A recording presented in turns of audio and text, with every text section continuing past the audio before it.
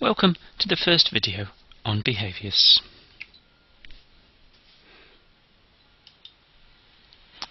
This video is going to assume that students are familiar with the definition of Laplace transforms for common signals and also the difference between a transfer function and a Laplace transform. The particular focus of the first video is to consider what information is embedded in Laplace and how much of this can be extracted without doing a formal inverse Laplace procedure. In simple terms, we want to say just by looking at the Laplace, can we characterize the sorts of behaviors we expect in the underlying signal? Before we start then, we might need to remind ourselves of a typical table of Laplace transforms. Now this is not complete by any means, it's just to indicate the sorts of things you need to be familiar with. So for example, the Laplace of e to the at is 1 over s minus a. The Laplace of e to the minus bt is 1 over s plus b. The Laplace of sine omega t is omega over s squared plus omega squared. The Laplace of e to the minus bt cos omega t is s plus b over s plus b all squared plus omega squared. The Laplace of a step is 1 over s, and the Laplace of t e to the at is 1 over s minus a squared. Now there are more, and if you're not familiar with these, I suggest you get your full table out, because we're going to use these in the remainder of this video. Let's focus first on simple poles. So you can see those written on the right hand side the Laplace of e to the minus at is 1 over s plus a, and the Laplace of e to the bt is 1 over s minus b. And the reason we've used this sort of double-sided arrow is to explain that these two are synonymous. What we would expect is if a student sees 1 over s plus a, they immediately think, ah, the underlying signal is e to the minus at. Or if they see a 1 over s minus b, they think the underlying signal is an e to the bt. However, there's one further thing that you should be noticing. What's the link between the pole position and the time domain behavior? Now, if we just make it clear, the pole position for this top one is s equals minus a, and the pole position for this bottom one is s equals b. So what's the observation? If the pole is in the left half plane, then the corresponding exponential is convergent. So a pole s equals minus a, that's in the left half plane, gives an e to the minus at, which is convergent. If the pole is in the right half plane, as you can see the s minus b gives a pole at s equals plus b, then the corresponding exponential is divergent. And this is quite important. Now, just for completeness, in case anybody hasn't seen this terminology before, we'll just clarify what we mean by left half plane and right half plane.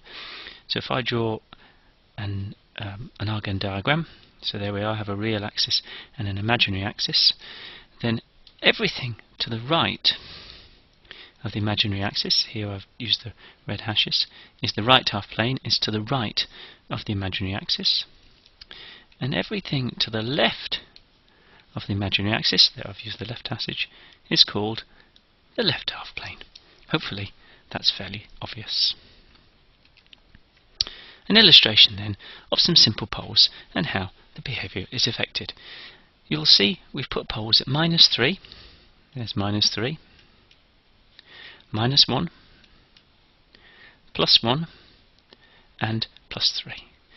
Now, the 1 and the 3 are in the right half plane, and the minus 3 and the minus 1 are in the left half plane. And what we want to look at is how do these different pole positions affect the behavior. First example then, you'll see I've put the pole at minus 3 and I've given the corresponding um, step response that you get from this and you'll notice that the exponential converges fairly quickly. You'll notice by 2 seconds, there's 2 seconds here, the exponential's pretty much converged to its steady state value. So that's with the pole. Sorry, I don't know where that went. That's with the pole at minus 3. What happens then if I move the pole to minus 1? Now you can see that the time it takes to converge is a bit slower. Oops, sorry, I don't know why that's disappearing. It's a bit slower. You'll see it's taken 5 seconds, something like 5 seconds, before it converges to the steady state value. So the pole at minus 1 is slower than the pole at minus 3. So if I put here slow and fast, you can see the point. What next? Let's try one of these uh, pole positions that gives a divergent exponential. So there you can see e to the t, or 1 over s minus 1, so the pole is at plus 1. And what do you notice now? The signal is diverging, as expected. And here we've plotted the signal up to about 3 seconds, and you can see it's getting to a magnitude of 50 to the 60 in 3 seconds. What happens if I move the pole to plus 3? And here you'll notice it's diverging much more quickly.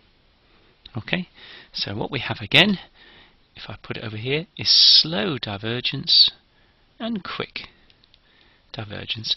So as the pole moves to the right, the divergence gets quicker. And if you're in the left half plane, as the pole moves to the left, the convergence gets quicker.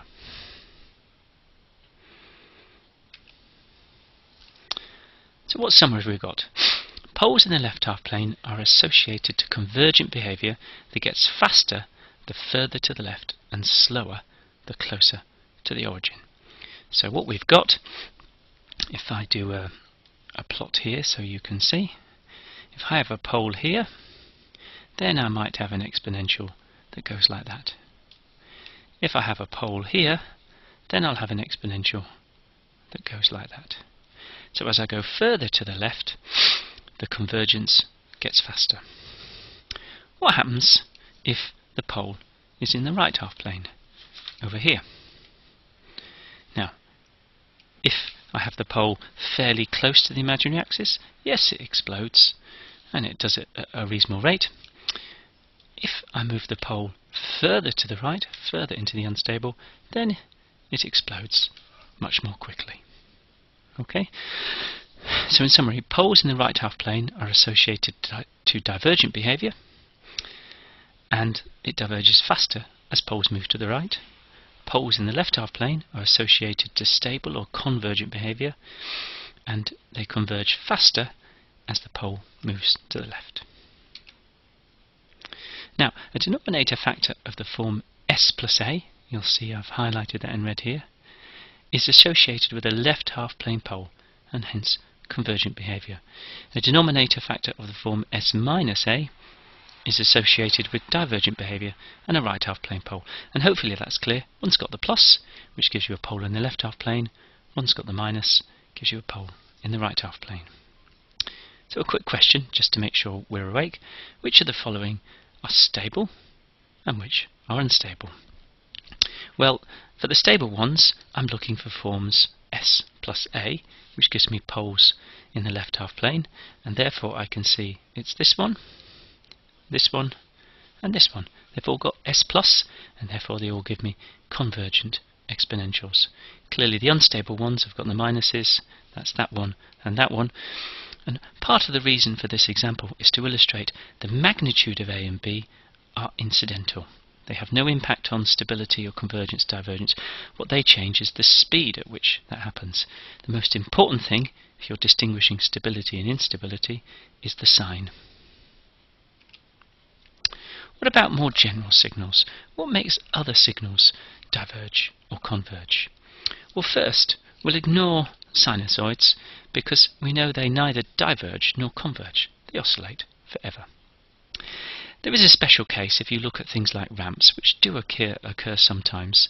Um, a ramp has a form 1 over s squared, which is a double pole at 0. So it's on the border between the left half plane and the right half plane. But strictly speaking, a ramp is divergent. You can see that. Um, so if you see a, a 1 over s squared, you're thinking ramp divergence. But we're not going to dwell on such subtleties here. A step has a transform 1 over s, which has a single pole at the origin, and that one gives you a constant and therefore will be considered as a convergent signal. And you'll notice the sort of confusion here, a double pole at the origin, divergent, a single pole at the origin, convergent. So the origin is a special case. The question we now need to ask though is, what's the distinguishing characteristic as to whether a signal is convergent or not. Because we've seen that sinusoids don't converge, we've seen a ramp or a pole at the origin um, does um, diverge, a single pole at the origin, and it converges. So we're asking ourselves, well, we've got all these signals and we don't seem to have a pattern. So what pattern have we got that tells us whether a signal will converge or not? And the simple answer is if it's modulated by an exponential, then the exponential dominates. Here we go then. So here's some typical signals. e to the minus bt cos omega t, t e to the at, e to the at sine omega t, and t e to the minus bt. Which of these signals converge and which of them diverge? And you'll notice the cosine and the sine on their own don't converge or diverge, they oscillate forever. A t on its own diverges. But what happens when I've modulated all these signals by an exponential? Let's have a look at the plot and then we'll discuss the answer. The first one e to the minus bt cos omega t, I'm multiplying something, uh, the cos, which is always up to plus and minus 1, by another signal e to the minus bt, which is converging to 0. So clearly the result will converge to 0. And that's this blue curve here. You can see it oscillates a bit at first, but as the exponential gets smaller and smaller, so does the consequent signal. What about t e to the at. So we've got a ramp t, which is divergent, multiplied by an e to the at, which is divergent. That won't surprise you, therefore, that's this sort of magenta curve here. It's divergent. If you multiply two divergent signals, you're going to get a divergent signal. What about the next one? e to the at sine omega t. So what I'm doing now is I'm multiplying a sinusoid, which oscillates forever, by an exponential, which is divergent. And unsurprisingly, what you'll see is you'll get a, a growing um, sinusoid, and that's this green curve. Can you see how the magnitude gets gradually larger and larger and larger? And therefore, that is divergent. And finally, we've got t e to the minus bt. Now this is the peculiar one, because you're multiplying t, which diverges, by e to the minus bt, which converges, and you might say, well, one of them is going to dominate. Is it the t, or is it the e to the minus bt? And there's a basic rule in mathematics which says that the exponential will always dominate in the end, even if not initially. And so if you look at this red curve here, this one is the t e to the minus bt, and you'll see it converges. Okay, so if you multiply a t by any exponential, where the exponential is convergent, eventually that signal will converge to zero. So what's the pattern that we're noticing here? If there's a convergent exponential multiplied by any signal, the, the whole signal converges. If there's a divergent exponential multiplied on the signal, then that signal diverges. So any signal multiplied, oops, that wasn't supposed to happen, sorry about that, multiply by convergent exponential, converges, any signal multiplied by a divergent exponential diverges. So how do we identify the presence of a divergent exponential? Well, we've done this already with simple poles, but let's just do it for completeness. If we look at this signal here, e to the minus bt cos omega t, you can see we've got a convergent exponential. If we look at the corresponding Laplace transform, you notice in the denominator it's got this term s plus b squared. And in the simple poles we said if you have an s plus, it tends to indicate a convergent exponential. So that's what we're seeing here. The e to the minus bt has given rise to this term s plus b, all squared. If I go to the bottom one, down here where you've got t e to the minus bt, again you can see in the denominator I've got an s plus b all squared. And so the key indicator is if I've got s plus terms in the denominator, then I'm likely to be stable or convergent. Now conversely, if I look at the other two signals, the ones modulated by divergent exponentials, what do you notice in the denominator? I have these s minus a terms and therefore indicates divergent exponential. So there's simple pattern recognition. Look at the transform. Are there s plus terms or s minus terms? Now, it's not quite enough, but we'll complete this picture on the next slide. Let's look at the pole positions for each transform because it's the pole positions that really give us the answer. Let's look at the first example. So my denominator is s plus b all squared plus omega squared and that's got poles minus b plus or minus j omega. So you'll notice the real part of the pole is minus, minus b. If I look at the next example, 1 over s minus a squared, the pole, in fact there's two poles at a, so I can put a comma a if you want to be complete, both are plus. If I look at the next example, where I've got s minus a squared plus omega squared, you can see the poles are at a plus or minus j omega, and the key thing is again the real part is plus a. For the final example, I've got s plus b squared, and you'll see the pole is at minus b, and again I've got a double pole um, at minus b. So what's the pattern that you've noticed here? And I'll put it up here. Minus b plus or minus j omega is in the left half plane. Minus b is in the left half plane. So the signals which have convergent behavior have poles in the left half plane. And obviously, you can see the signals which have divergent behavior have poles in the right half plane. So finally, we're beginning to get to some form of summary. So an Argand diagram. Let's put some poles in and see what sort of behavior we get. So if I put a pole here, then the corresponding behavior, simple exponential, converges. If I put a pole here, simple exponential converges faster. What happens if I put a pole up here? Still in the left half plane, but now it's got a complex bit. Then what you're going to see is this sort of behavior. You're going to get a convergent oscillation, something like that. What happens if I put the pole over here? So clearly that's got a, a real component which is further into the left. Well, you'll still get the oscillation, but now it will converge much more quickly. Okay? So, if you're in the left half plane, the sort of behavior you get is convergent. If you have an imaginary part in the pole, then you'll get some oscillation. Now let's move over into the right half plane. If we have a pole here, what do we get? We get divergent behavior. If we have a pole here, what do we get?